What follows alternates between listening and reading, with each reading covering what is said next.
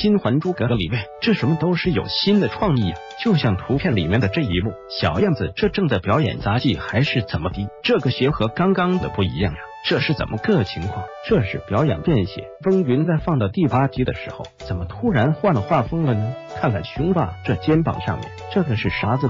看着很霸气的样子。不过这个肩膀怎么两个不一样呢？镜头一转就变成这样了。你这是经历了什么？骑马戏对很多演员来说都是一个比较危险的动作，毕竟都没有受过专业的训练。刘德华上次从马背上面摔下来。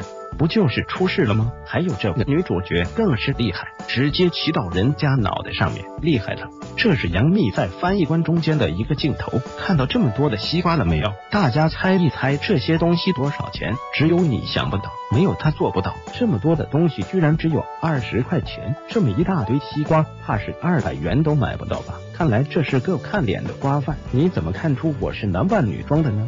就想问问你到底是怎么想的呢？是谁给你勇气出门的呢？还有这导演是咋想的，让这种人来演角色，不怕把观众都给吓死了？心是真大。《封神英雄榜》大家以前都有看过吧？这里面的画面可以说是相当的精彩了。不过这里面的主角也是相当的精彩了。看看这个女主角，那是凹凸有致的。